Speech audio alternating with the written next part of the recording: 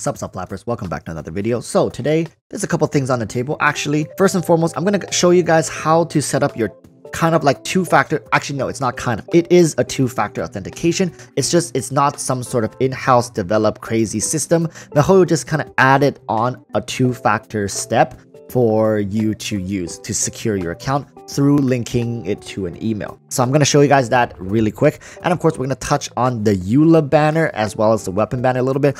Um, kind of just break down my thoughts on why EULA could be good. Maybe it's not for you. Also about the four stars on the banner, and then you know we'll we'll, we'll talk about the the weapon banner. Okay, that's gonna be uh, that's gonna be everything for this video. So make sure you like and subscribe if this kind of stuff helps you out enjoy this kind of content. So with that said, let's get right into the video. So if you go to the Genshin official website, I'm going to link this uh, below in the description and you can go here right now i suggest you guys go do this. Go here click account and then uh, go and it'll bring you to this page and then you go down to login devices. This is uh, this is a new section that they added in and as you can see uh, this is uh, my my device. And um, i'm going to show you guys a screenshot on screen of what this two-factor authentication process looks like when it works.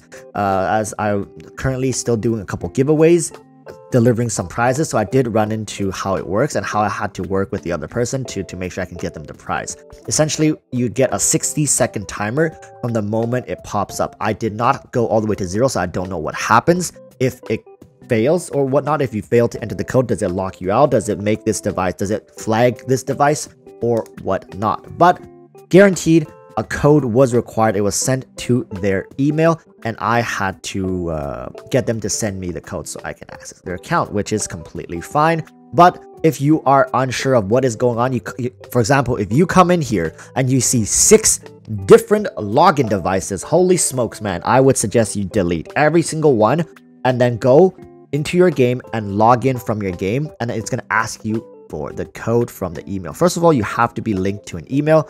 Then it's gonna ask you for the code, and then once you enter it from your computer, you know that's your computer, and it, it'll once again pop up here, being like, "Hey, this is the this is the device." It'll be saved, and uh, as long as you don't delete it from here, you don't have to uh, use two-factor authentication every time, as long as you're logging in from your device. Okay, people.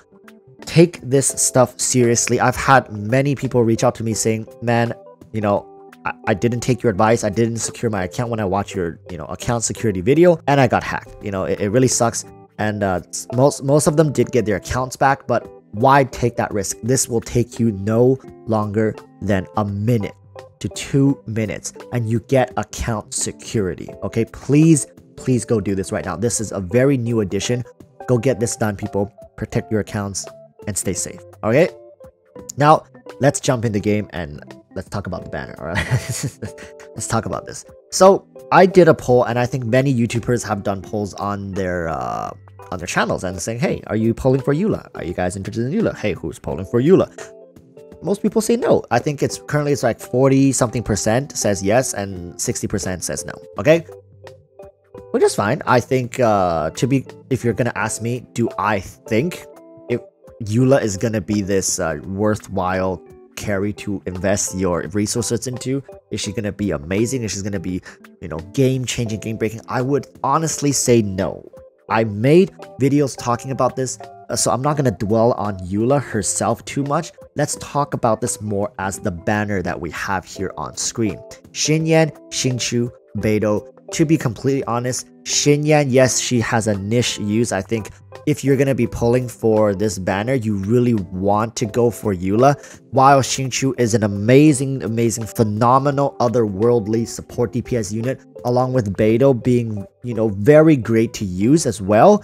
It, it just doesn't work without EULA, right? It, it, like if you're going to go for, hey, I'm going to pull on this banner just for Xingqiu, well, good luck, man. I, I, last banner, it took me like 70 pulls just to get one copy of Yanfei. What are we talking about here? You, you, you know, you, you likely there's a good chance that you will be spending just as much summons or primos or money going sniping one four star unit on the banner than it would cost you to go actually proc a five star. And if you're thinking of skipping the banner for whoever is coming up next, you know, rerun banners or new characters, are you really taking that 50-50 risk to get EULA just for the chance of getting a couple Xingqius? Right? If you are sitting at a fresh pity, zero, I'd say go for it. Uh, if as long as you need both Xingqiu, let's say, and Beidou, I wouldn't really snipe one single four star on a banner. No matter how, even if it's Bennett, I wouldn't suggest you go snipe it because the amount of resources it's going to cost you, it's absolutely insane if you just hit an unlucky stride. Unlike the five star, four stars has no guarantee. All right, people. So be very, very careful. If you want Xinyan, Xingqiu, and Beidou, but you really don't want Eula, I'd say go all the way up until like 50, 60 summons, right? If you get a 5 star under 50, within 50 summons, I'd take that as a win, regardless if it's Eula or not. You're saving yourself uh, 25, 26, potentially 30 to 40 summons worth of uh, pity summons, right? So that's going to be fine but only if you need at least two, if not all three of the four stars. You're getting constellations, they're your main unit or whatnot.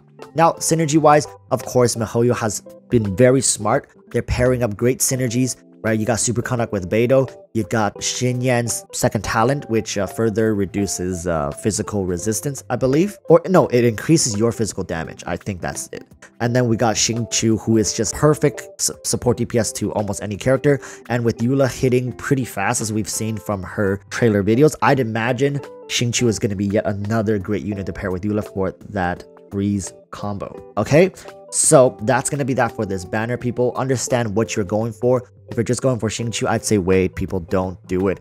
And uh, for the vast majority of people, really wait until patch 1.6 preview, which I will do a live translation for the CN one the second it drops. So guys, make sure to subscribe if you guys are curious for that. And that's going to be that for this Eula banner. Let's go and talk about the weapon banner. Now, really, people, what do you really want me to say when it comes to the weapon banner? I, I mean, uh, it, it, it's really for whales, although the weapons on this uh, banner, the four star weapons, do have some value to them, except whatever the hell this thing is. But all four of these weapons do have their specific uses, depending on whether or not you're building these characters. The sacrificial sword is currently, uh, it is so good, right? It's so good in the current spiral. Abyss, I hope, you know, most people watching this at least have a refinement 2, refinement 3 if you're serious about challenging the Abyss with, you know, lots of four star characters. Rust is a great weapon, physical DPS, right? They really cater this entire banner to help you push through the abyss. When it comes to the 5-star options, if you don't have either of them and you have a built-up Keqing and you're definitely gonna go for Eula, I'd say there is no harm in giving this banner a shot until you proc a 5-star and then you're done. Completely fine. If you don't need both of these weapons, skip it, skip it, skip it, or just summon for some 4 stars. Uh, if you need the sacrificial sword, sacrificial um, catalyst, and the rust, right? Three out of the five weapons I think it's safe to go for. That's going to be that for this uh, banner. Uh, weapon banners is not too much to talk about. It's always about what you need and how much you're willing to uh, to gamble for something. So that's going to be it for this video. Guys, make sure to protect your accounts. I'm going to be doing a live stream tomorrow. I'm going to be summoning for Eula, myself, and for some of my viewers. Also, I'm going to be potentially doing a Eula giveaway sometime during her banner, so do stay tuned for that. Exciting times ahead of us right now. I'm also going to be doing a teapot competition where the winner will get to win big prizes. Okay, so everybody stay tuned for all this content coming up. I hope you guys are having fun. I hope no one here is too burnt out. If you're feeling burnt out, do take a break. Anyways, that's going to be it from me. I hope to see you all during my live stream tomorrow. We'll probably give away a couple goodies here and there. And of course, as always, stay safe and peace, peace. Bye.